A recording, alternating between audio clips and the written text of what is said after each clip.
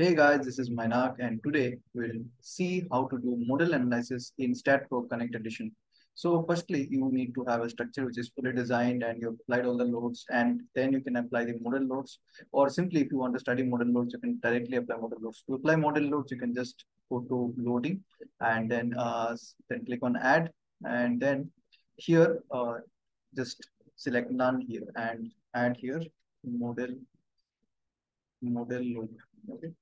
So i'm adding this in addition to static load. You can add this in addition to your dynamic loads as well. So simply add the model load and add this close so then click on add here and then you have option of your frequency.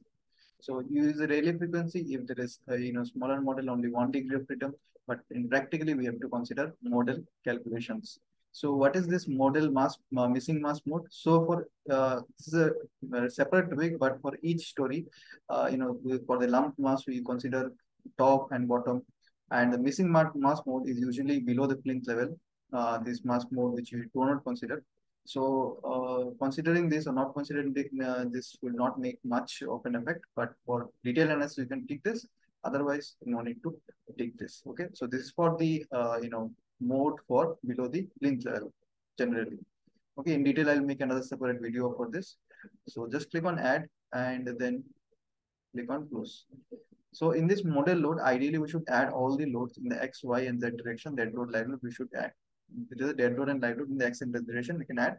So we can add that using the standard editor. It is very easy. But for saving time, I'm just adding the, uh, you know, uh, your self weight for now. Okay, so let's add only the self weight for now and later uh, for the detailed analysis we can add. So factor 1 minus 1 doesn't matter here. So I'll just add 1 here. Uh, so applying three directions, but compulsorily you need to apply in X and Z, X and Z direction. Uh, y direction is optional, but I'm applying in all three directions to study the response. So it's okay. So just and uh, just click on assign to view uh, here for all the three load cases.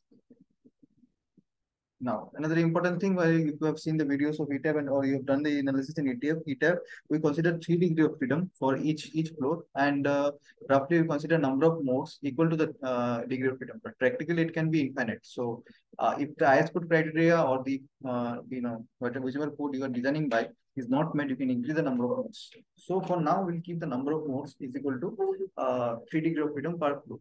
So to restrict that, you can go to analysis and design here go to miscellaneous commands and here you have cutoff mode shape. So here you can define it as 6. So STAAD Pro you can see that by default it takes as 6, but have higher story building, make that, suppose you have 3 story building, then make that as 9. So number of floors into 3. Uh, if you do, more in most cases, the more uh, the, the IS code requirement will be fulfilled. Okay. And if it's not fulfilled, you in, just increase the number of nodes, then it will be fulfilled. So just click on OK uh, this uh, this thing is done and we'll do just analysis and design. So run analysis and save. So it will calculate the model ma uh, mass participating factors automatically. Uh, so so uh, since I have not added less uh, uh, loads in the model mass, so it, it has been calculated pretty fast.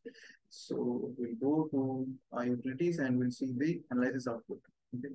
So in the analysis output, I'll just uh, maximize this and uh, we'll go to find results. So here you can find all the results base shear and we, we, we are concerned about model mass, uh, mass and base shear you will find and mass participating factor.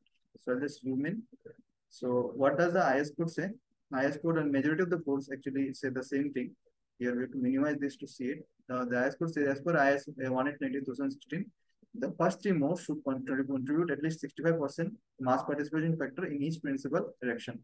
So when you see this uh, 31 and 47, so it is, uh, you know, if you just add 31 plus 47 plus 8, so it is 86.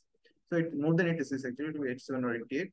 So similarly in the X, X, and Z direction, you can see um, mainly this uh, in these two directions, you can see that the mass participation factor is more than 65%. We add the first three. So it is pretty much okay. And uh, we are not needed to concern about anything. So we are good here. Sum of X, sum of Y, sum of Z. So we're good here. Now we can continue. So you can see this other results as well, eigen, eigen uh, solution, and you can see the frequencies uh, here as well. So everything you can see. You want to uh, see the frequencies, uh, you can see here. You want to see the base period, uh, base year and time period, you can also see here. So everything you can see in this model. Okay. So here you can see. So I'm just going to close this and let's enter into post processing.